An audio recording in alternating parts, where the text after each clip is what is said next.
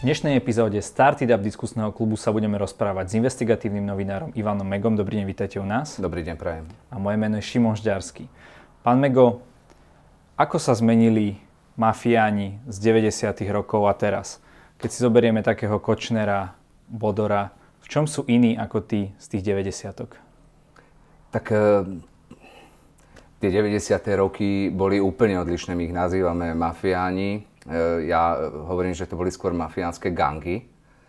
A, a mafia ako taká, e, ktorú by sme vedeli nazvať mafiánmi týchto, týchto dní a týchto rokov, to ukazuje asi najlepšie možno posledný prípad pána Makova, bývalého šéfa finančného, kriminálneho úradu finančnej správy, kde, kde tam sa ukazuje, ako funguje ozajstná štruktúrovaná mafia, kde, kde človek, ktorý sa dnes teda priznáva k trestnej činnosti, uh, rozkrýva to, že on ako človek z najvyšších miest uh, štátnych štruktúr a finančnej správy priamo komunikoval a koordinoval trestnú činnosť a, a spolupracoval na trestnej činnosti s so zločineckou skupinou takáčovcov. To je taká ukážka tej, tej novodobej mafie, oproti, ktorá je úplne odlišná proti Mikulášovi Černákovi, ktorý bol ako považovaný a je považovaný za toho bosa, aj tedy toho podsvetia, ale boli to skôr gangy, ktoré niekoho niekde ubili a ktoré vytvárali akúsi pozíciu strachu. Kdežto títo novodobí mafiáni, napriek tomu, že aj zastrašovali a mali isté praktiky, ktoré si preniesli z tých 90. rokov, sú, sú o, hlavne postavené na tom, že akákoľvek, akékoľvek trestné oznámenie, akýkoľvek nejaký boj proti ním by bol márny, lebo by stroskotal na tých štátnych štruktúrách, kde sa dnes rozkrýva to, že, že vlastne nejaký ľudovít Mako má po svojom boku o, právnika, ktorý bol riaditeľom inšpekcie ministerstva vnútra, ktorý by v prípade akéhokoľvek trestného oznámenia vyšetroval trestnú činnosť, ktorej by sa oni mali dopúšťať. Takže by ste okamžite stroskotali. A takto nejak, e, keď pôjdeme ďalej, uvidíme, čo ešte rozkrie, sa rozkrie akási celá štruktúra tej ozajstnej, ako keby mafiánskej skupiny. A to už môžeme nazvať potom mafiánskou skupinou, keď sa to rozkrie, že, že vám vznikne strom, ktorý, ktorým sa prepája e, tá, tá vládna a štátna moc s tými gangami. Chcete povedať, že v 90. rokoch nepotrebovali až tak tí mafiáni takéto krytie? Skôr uh, oni mali krytie, ale bola to len spolupráca jednotlivcov. Tu nás sa ukazuje, že sú to celé stromy, že sú to celé štruktúry.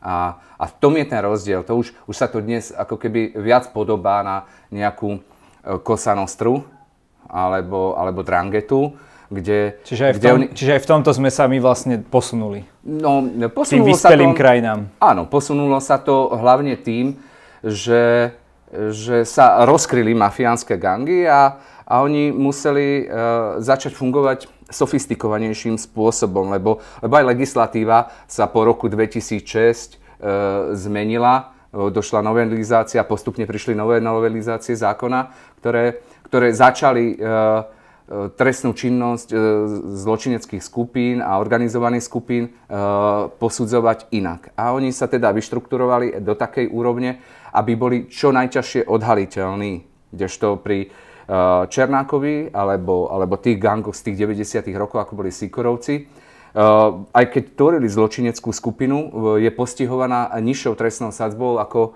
ako je, sú moderné, uh, alebo podľa nového zákona. Takže, takže tam je niekde rozdiel. Napriek tomu, ale naše slovenské skupiny a gangy sú ešte odlišné od nejakých českých, nemeckých a tak ďalej, že my sme skôr na ten východ, uh, kde sa ukazuje, že, že my, my vlastne u nás sa vraždilo ako, ako na pase. Hej? A to je to odlišné, v čom sme ešte my odlišní od ostatných krajín.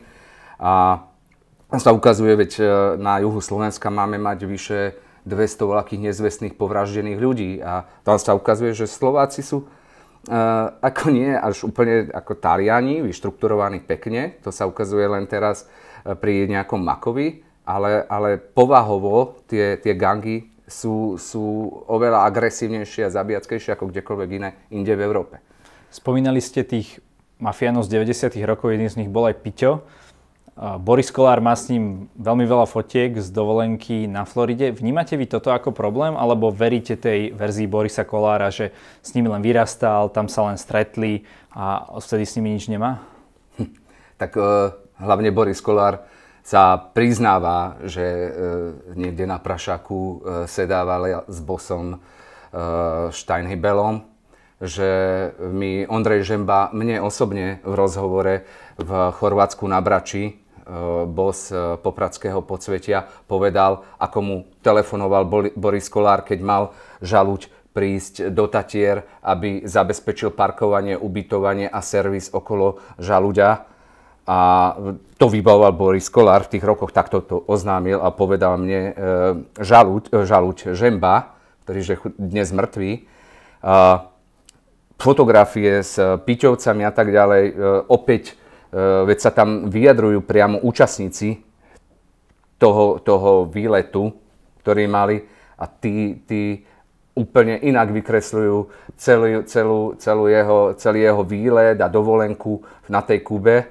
Takže e, ako tieto, tieto, tieto výhovorky e, ja vnímam len ako výhovorky. Z môjho pohľadu a z toho, čo aj sa stretávam teda v rámci svojej práce s ľuďmi, ktorí majú veľmi blízko k podsvetiu, alebo sú súčasťou a boli súčasťou podsvetia aj z tohto gangu, tak eh, tí mi otvorene povedali, že Boris jednoducho Kolár sa poznal a, a nejakým spôsobom určite aj niečo riešili. Veď, veď to priznal dokonca aj na tlačovke, aj s tou Krištúvkovou, kde, kde otvorene hovoria, ako niekto kontaktuje Kočnera, pani Krištúvková, alebo chcela prísť o majetok a mala prísť o majetok, ale nikto nehovorí o tom, že mala prísť o majetok, ktorý mala po Diničovi, zavraždenom mafiánovi a že e, ju chceli pripraviť o majetok z krvavých peňazí mafie. Takže tam tie prepojenia sú, sú rôzne a toto, toto už by mohli možno aj ľudia pochopiť, že že skrátka akceptovali človeka, ktorý bol známy svojimi kontaktmi. Myslíte si, že to môže byť e, problém do budúcna? Je to predseda ja to... parlamentu, má šéfa SIS, e, dôležité ministerstvo dopravy. Takto, no, tak e, ja to vnímam len ako, len ako. Ak zatiaľ sme ešte nepreukázali činnosť napriek tomu, že sa ukazujú uh, aj z minulosti rôzne uh, spisy, kde sa hovorí o tom, že mal pašovať drogy, mali robiť nejaké podvody a tak ďalej. E, ten človek dnes nie je trestne stíhaný, musíme na ňo tak hľadieť. Ja to potom vnímam ale ako veľmi e, zdvihnutý prst charakterové, charakterovej črty tohto človeka. Kde sa pohyboval? Ja, ja nemôžem na ňo inak pozerať. Ja nehovorím, že že dnes to musí byť nejaký zlý človek. Ja hovorím, že by som zdvihol prst eh, v prípade jeho charakterovej črty. Kto sú podľa vás dnešní mafiáni? Vyplávalo na povrch veľa mien, tak poďme sa baviť konkrétne. Ťažko to povedať, lebo, lebo čokoľvek dnes poviete, viete, ako to dopadne, ale, ale dá sa, mm, už dneska sa ukazuje, že tento ľudový Mako e, mal už riadne prepojenia tam. Ja už hovorím, že, že to, bola, to je taká ukážka, že by sa dal možno nazývať týmto spôsobom a keby to ľudia pomenovali, tak, eh, tak asi by sa nemohol hnevať, keď je tam prepojenie. Eh, Marian Košner mal tiež všelijaké spojky, eh, samozrejme, aj na Piťovcov, aj na Sikorovcov, aj tam sa predsa po výpovediach tí, tí Sikorovci priznávajú k tomu, že robili rôzne roboty pre, pre Mariana Kočnera. Uh, asi, asi je ich tu viac. Len... Tieto gangy teda doteraz fungujú v nejakom, nejakej obmedzenej miere? To by som už nepovedal, že tie gangy, ktoré my poznáme, e, fungujú. Sú tu možno nejaké, nejaké pozostatky, ale, ale keď nebudú tieto gangy, budú iné gangy, ktoré budú robiť e, tú robotu a nebude, nebudú mať meno, mená, ktoré dnes poznáme, ale budú to skrátka ľudia, ktorí budú športovo alebo zdatní, budú veľmi šikovní a e, tí sa budú pohybovať v blízkosti takýchto e, ľudí, ako, ako je aj Norbert Beder, ktorý sa pohybuje okolo MMA mm, a je nie je vylúčené, že, že títo ľudia, ktorí sú pomerne šikovní bitkári, klobúk dole, môžu byť e, v službách takéhoto človeka. Vnímate teda MMA do budúcna ako nejakým spôsobom hrozbu? Alebo narastajúcu popularitu tohoto športu? Tak e, ono, ono to nie je žiadna alchýmia. Ja už som o tom v minulosti hovoril. Uh, ani, ani nejaká, uh, nejaký výplod fantázie z minulosti sú známe, že uh, gangy zločinecké a mafiánske skupiny sa vytvorili práve zo zápasníkov, boxeristov, kulturistov, karatistov, takýchto, takýchto ľudí. A teda v tých telocvičniach sa zgrupujú ľudia a športovci, ktorí majú blízko k, k násiliu. No, nechcem plošne povedať, lebo ten šport eh, si naozaj zaslúži uznanie a tí chlapci sú veľmi, veľmi šikovní, ak to berú, berú ako športovci. Hrozba je, že k týmto športovcom môžu zaliadať chlapci, šikovní chlapci, ktorí budú mať ale iné úmysly v prípade akéhokoľvek neúspechu v klietke, sa ale nemusí chcieť živiť práve no, bežnou prácou. A títo chlapci sú potom ľahko použiteľní práve ľuďmi, ktorí majú peniaze na prácu, ktorá už hraničí s násilnou trestnou činnosťou alebo násilnej trestnej činnosti. Čiže hovoríte, že, že nejaký takýto vytrénovaný bojovník, keď dajme tomu sa nedostane do nejakej tej profesionálnej súťaže, tak práve si ho môže najať niekto taký, kto potrebuje niekoho, kto sa vie byť, kto, kto vyzerá nebezpečne a ponúkne mu možno lepšie miesto, ako niekde pracovať v kancelárii alebo... Tak určite, ono, ono ako, treba to brať e, racionálne, že tá násilná činnosť e, rôznych gangov asi nikdy nezmizne. To, je, to, to patrí k biznisu e, takýchto ľudí, ako, ako luxusné auta, ako pekné ženy, patrí aj násilie a, a oni bez toho násilia by nevedeli zase zarábať tie peniaze. Takže takíto chlapci, ktorí nebudú úspešní v klietke, tak je, je to hrozba mm, toho športu.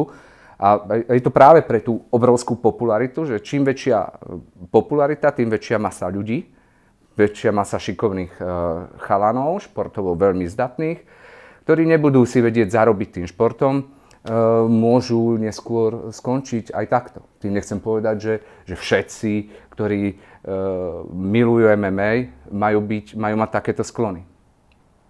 Hovorím o riziku, ktoré e, z tohto športu e, vyplýva. A, a nie, je to, nie je to len môj výmysel, veď, veď e, služby rôzne už monitorujú takéto Ste rôzne tajné kluby. služby alebo... Áno, áno, to sa musí monitorovať, aby, sa, aby bol akýsi prehľad e, pri E, v prípade e, akejkoľvek násilnej trestnej činnosti, ktorá sa môže v nejakých regiónoch e, opakovať, či to budú rôzne, či to môžu byť rôzne lúpeže, alebo prepady, alebo nejaké násilná trestná činnosť, keď sa bude v nejakej, niekde opakovať v nejakom regióne Slovenska, mm, a, alebo sú to tie prepady, myslím v obchodných centrách, čo sa robia tie klenotníctva, vždycky príde nejaká partia chlapcov, 6, 8, chlapcov behne do nákupného centra, vyvalí dvere a e, urobia, e, vylúpia e, klenotníctvo. Tam je, je krásne vidieť, že to nie sú nejakí, nejakí chlapci, ktorí práve napadlo, že poďme vylúpiť klenotníctvo, ale sú to zohratá partia chlapcov, vyzerá byť, vyzerajú byť veľmi športovo zdatní podľa pohybov, ako pracujú, ako sú koordinovaní. A tam už niekde e, môžeme hľadať e, spojitosť s nejakými športovcami. A, a hovorím tu o tej hrozbe, ktorá vznikne tou, tou popularitou. Ja som mal práve za to, že práve táto násilná trestná činnosť je už na ústupe, že dneska sú v mode biele goliere, eurofondy, prepojenie na vládnu moc a tak ďalej. Že toto už je na ústupe. Takýto hrubokrký, hrubokrké typy. Tak ono, e, jasné, že sa to úplne odlišuje, že kedy si, kedy si sa naozaj zarábali e, v dobe kešu, ako sa tomu hovorí, sa zarábali tie peniaze e, takýmito ľuďmi. Dnes e, naozaj sa zarába skôr ekonomickou trestnou činnosťou, ale, ale tá nevylučuje, že je niekedy potrebné, ako títo ľudia hovoria, niekoho umravniť a vtedy použijú takýchto chlapcov. No samozrejme, že uplatniť nejaké, nejaké veľké množstvo takýchto ľudí v takomto organizovanom zločine už, už, nie, už sa to tak nerobí, ale nejakú partiu vždycky niekde zložíte. Ale, ale to neznamená, že ich len musí niekto platiť. Bude to len partia v nejakej telocvični, ktorá bude šikovná a tá povie, že tak poďme, vymyslíme niečo. Bude to jeden z tých chlapcov, ktorý tam bude šikovnejší, ktorý bude väčšia osobnosť a zrazu začne riadiť partiu 6, 7, 8 chlapcov, ktorí sa začnú živiť iným spôsobom. A toto je tá hrozba, že, že nám tu môžu povznikať rôzne gangy. Vy ste spomínali tú trestnú činnosť mafie. Aká, čo teda robia teraz? Z čoho získavajú m, takéto zločinecké skupiny prostriedky? Tak hlavne sa ukazuje, že je to z rôznych podvodov, či už na DPH, alebo, alebo... No to mi nepripadá refundov. úplne také hrubokrké, viete, to sú častokrát zložité podvody, musíte... Tak uh, vidíte, že, že používali rôzne praktiky, napríklad v prípade toho Ľudovita Makova v prepojení na, tie taka, na tých takáčovcov, no ak niekto dlží peniaze, ak má zaplatiť peniaze, tak sa použijú takíto ľudia. Hej? Čiže kombinácia. To je už len kombinácia, áno. Potrebuje, o nich vždycky bude E, potrebné takýchto chlapcov. Potom ich používajú ako na ochránku, zastrašiť niekoho, sadnúť ku stolu, poklepať po ramene. A to nemusí byť taká tá úplne e, brutálna e, sila, ktorá je použitá, ale, ale na zastrašovanie to stačí. Hej, hlavne, hlavne kedysi sa vypalovali neviem, dealery drog alebo zlodeji aut. Dneska sa vypalujú ľudia, ktorí robia DPH. To znamená, že za nimi prídu takíto ľudia, za človekom, ktorý pácha takúto trestnú činnosť a e, nechajú mu zaplatiť nejakú časť z tých peňazí, ktoré e, mu na DPH sa podarilo ukradnúť. Vaša celá práca je vlastne o tom, že sa bavíte s kriminálnikmi rôzneho typu. E, ako často sa stane, že vás niekto zastrašuje? Tak nie je to moja celá práca, je to, je to časť práce a a je to preto, lebo uh, ak o týchto ľuďoch chcem písať, tak uh, ich musím aj, ich musí dať aj priestor na vyjadrenie, ako, ako, bež, ako novinár. Tak uh, tu ja viem, že keď je politický redaktor a píše článok o dvoch, troch politikoch, tak by ich mal aj osloviť. A pre mňa je to strana v konaní, ako každá iná strana. A ja, ja skrátka dám priestor na vyjadrenie aj tomu, tomu človeku, ktorého pokladáme za mafiana, vagabunda, alebo ktorý sa k nej aj priznal tej trestnej činnosti. Ale ja, ako, ako autor materiálov, mojou úlohou je, sa, je mu dať priestor. A môj spôsob práce nie je väčšinou taký, že zavolám a položím cez telefón otázku, ale ja väčšinou chcem toho človeka mať z očí v oči. Prečo?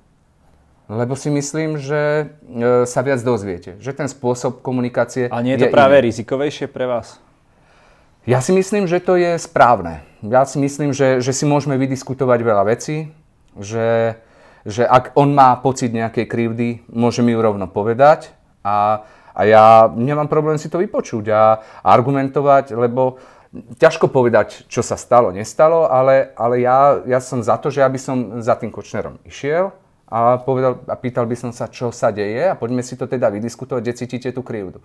Čo ste, sa, mi... čo ste sa dozvedeli od Kočnera? No, tak e, v prípade Mariana Kočnera ja som, ja som naozaj riešil informácie, e, že, že si mal objednať e, svojho času vraždu syna jedného vysoko postaveného oligarchu alebo boháča slovenského a ja som teda išiel za ním a spýtal som sa ho, že, že či sa takéto niečo stalo, že či si naozaj tú vraždu objednal. Posadil som sa ale z očí v oči. Ja som nevtelefonoval, že dobrý pán Kočner, objednali ste si vraždu. Hej, hovorím, sadol som si, boli sme v hoteli, tam ma pozval, to bol také jeho miesto proti prezidentskému palácu. A tam som sa do očí spýtal, či si objednal vraždu. Či to je pravda u Sikorovcov. A on povedal nie. Dobre, Poďme ale ďalej. Tu Bolo to vierohodné pre vás? E, takto, no. je to jeho vyjadrenie. Ja, ja som mal e, list, z ktorého čerpala e, e, anonymný list, podpísaný jedným vysoko postaveným mafiánom, kde, kde on podal nejakú svedeckú výpoveď. A ja som z tohto svedeckého, z tejto svedeckej výpovede čerpal. takisto som sa stretol s tým podnikateľom, alebo synom podnikateľa, ktorý mal byť cieľom. A ten mi povedal, že áno, túto informáciu má a preto svojho času ušiel zo Slovenska. A ja som ho s týmto všetkým uh, kon- konfrontoval, toho Kočnera. Takže mm, je to len iný spôsob práce. No, každý má iný. Ja Dobre, nehovorím, že môj tak... spôsob práce, chcem to povedať, Prepačte. je správny.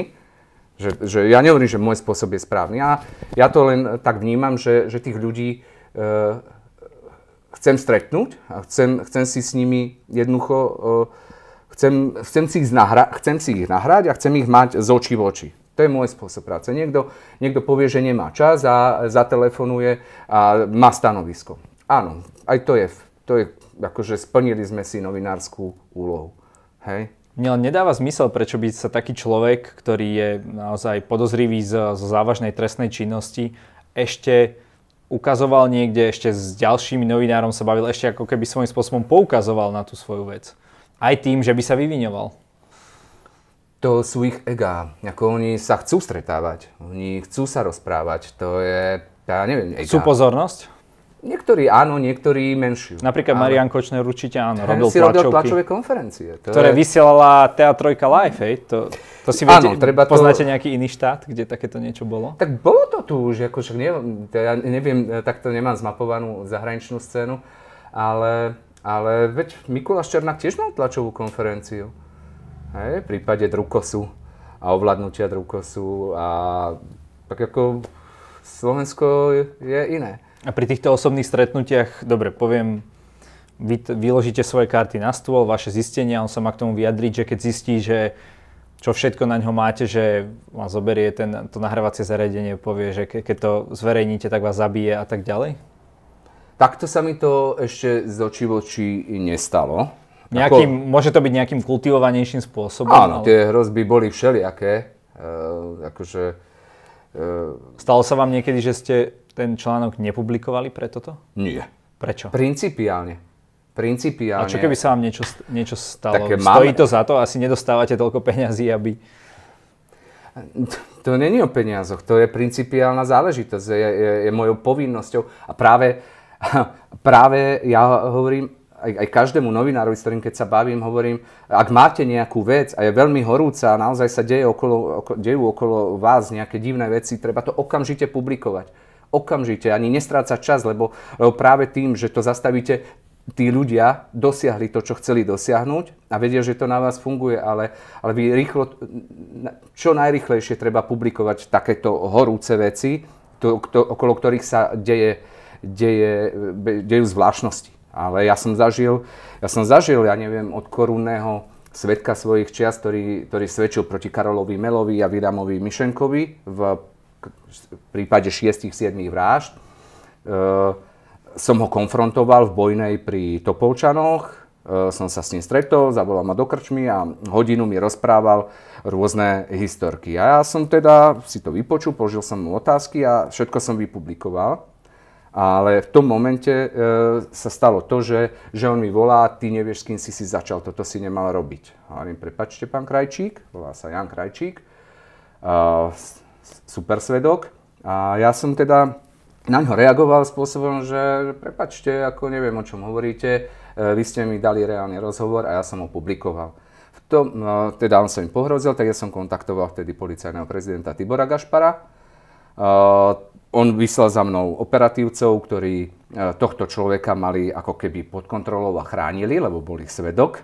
A tí ma poprosili, že aby som už nikdy o Krajčíkovi nepísal, lebo že oni ho ešte vedia zastaviť, ale že som ko a že, si, že, že fakt si mám dávať pozor, lebo som úplne mimo.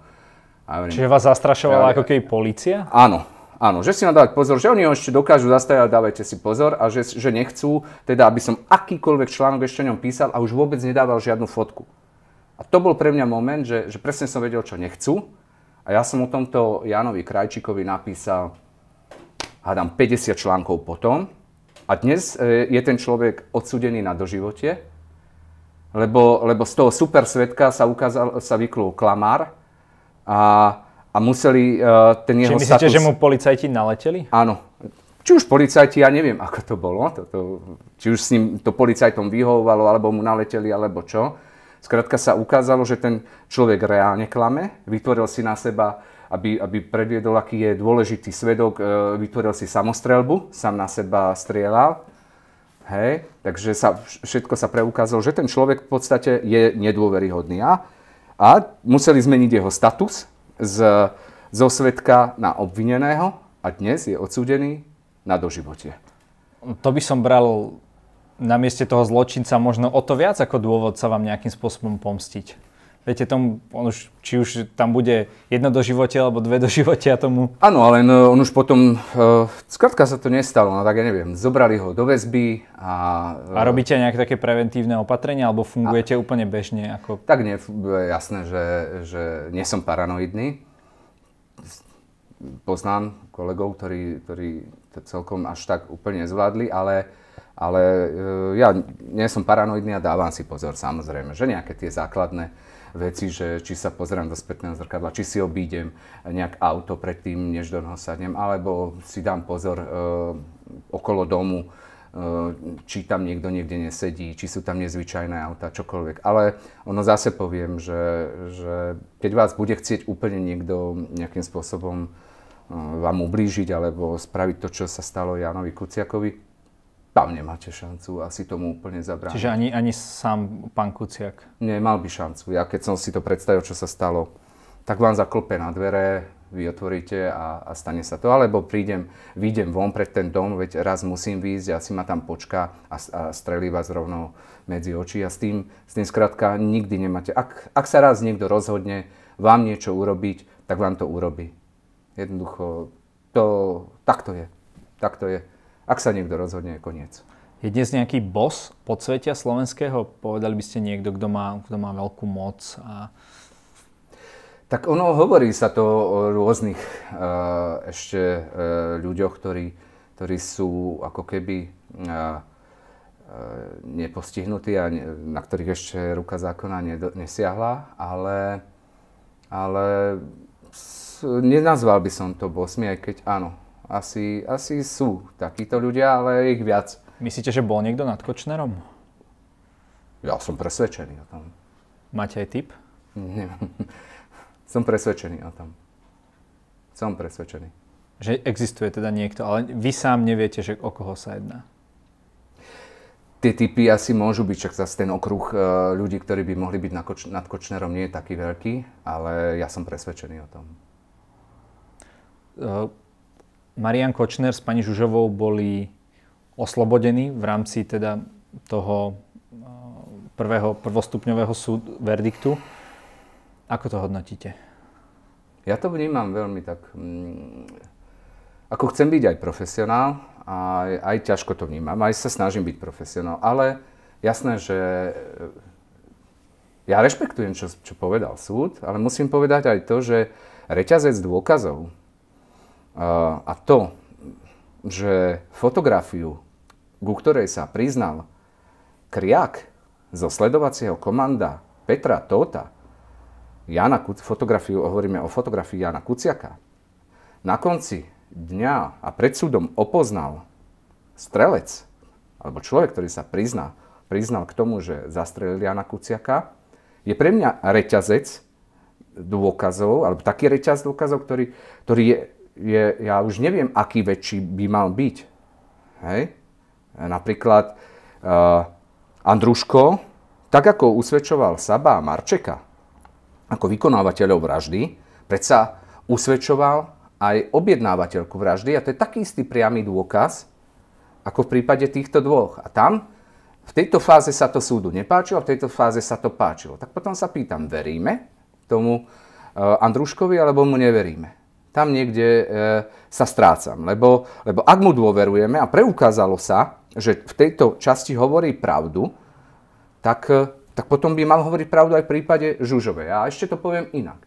V prípade, keď zadržiavali Andruškova a zadržali Saba s Marčekom, ešte nikto, policajti ani nikto, ani prokurátor, nikto netušil, že nejaká Alena Žužová existuje, že by tam mohla byť. A hneď ako chytili Andrušku a ten povedal, že Alena Žužová si to u mňa objednala, oni zadržali Alenu Žužovú a na základe ďalšieho vyšetrovania jej mobilu a kontaktov a tak ďalej, sa ukazoval ďalší a ďalší reťazec, až sme došli k tomu, že tu dokonca bolo sledovacie komando, ktoré e, sledovalo novinárov. A ja hovorím, že to bolo pre účely, ja som o tom presvedčený, tej vraždy, to je moje, moje presvedčenie. Takže keby, keby Andruško povedal, že ste to boli vy a, a trhnú k vám policajti, tak asi u vás nenajdú reťazec dôkazov taký, že povedie k nejakému sledo- až, až k nejakému sledovaciemu komandu, ktoré si objednal Marian Oni Kočner. sa vlastne takýmto spôsobom až k nemu dostali. Až k nemu dostali a ešte až ďalej a ďalej. Ešte až, až k nejakému Kriakovi, Mlinarčíkovi a Škripovi, ktorí mali sledovať novinárov. Takže ja hovorím, že, že policajti netušili, kto je Alena Žužová a dostali sa až k nejakému sledovaciemu komandu. No tak potom asi asi ten reťazec dôkazov bol nejaký, lebo ku mne by mohli teda prísť, aj by ma mohli zobrať, aj všetko, lebo by Andruško povedal, že bol to ten Ivan Mego, no ale asi by u mňa nenašli reťazec dôkazov, ktorý by viedol k, k Kočnerovi, k Petrovi Totovi a k nejakému sledovaciemu komandu. A bola by veľká náhoda, že, že niekto sledoval Jana Kuciaka a sledoval ho len preto, že chceli nejakú reláciu a zhodou okolností tie fotky niekto teda použil pri e, opoznávaní Kuciaka v prípade vraždy. Takže tam, tam ja vnímam, že, že je, z môjho pohľadu bol ten reťazec dôkazov dostatočný. Na druhej strane jasné, že sú tam premenné, ktoré treba vysvetliť a čo je, to je kontra sledovacie komando, ktoré sledovalo sledovacie komando a prečo táto informácia nie je v spise a nie je pred súdom prečo sa ňou nikto nezaoberá, kto kontrasledoval sledovacie komando. A tiež je tam nevy, nevyriešené to, že bývalý viceprezident Malik mal zobrať sledovacie komando na čele s Petrom Totom, Mlinárčíkom, Kriakom a Škripom na výlet do Ruska. A ja sa pýtam, je toto náhoda? A práve v čase, keď sa mali diať tieto veci. Takže toto všetko by mal možno niekto vysvetliť a ísť ďalej. Ísť ďalej a, a nejak ich už posadiť všetkých na tú lavicu obžalovaných a potom sa poďme zaoberať teda ďalej. Čo tam je? Takže je teda chyba na strane policie, prokuratúry či súdu? Ja si vás. myslím, že dostatok dôkazov bol. To je môj názor. Napriek tomu, že rešpektujem... Čiže policia OK. Rešpektujem, okay. ale, ale sú tam veci, ktoré, ktoré vyvolávajú veľké otázniky. Kontrasledovacie komando a výlet do Ruska. A možno a, a ďalšie a ďalšie iné veci. Takže e, určite, určite je tam ešte čo riešiť a podľa mňa tam ani nebol problém vo vyšetrovaní, ale skôr, že to rýchlo uzavreli a ten spis skrátka niekto zacvakol a odozdal na súd. A potom, jak mi môže prísť prokurátor, keď už spis je dávno zviazaný a všetko, ja tu mám ešte nejaký dôkaz mobilu Žužovej. No prepačte, tak a to ešte, koľko dôkazov máte a čo ešte máte tam schované? Lebo to malo byť všetko v tom spise, ktorý ste mi e, z MP očkovali. Dali na obžalobu. Takže to je ten problém, že, že sa možno niekto len unáhlil a v tom spise malo byť všetko. Ale to je môj pohľad e, na vec. Ja som sa vás pýtal veľa otázok, ale ako každý host v diskusnom klube máte na záver odkázať, povedať našim divákom čokoľvek, čo uznáte za vhodné na túto kameru. Skúste nám len dôverovať. My naozaj sa snažíme. Nie sme zlí novinári. Ďakujem za rozhovor.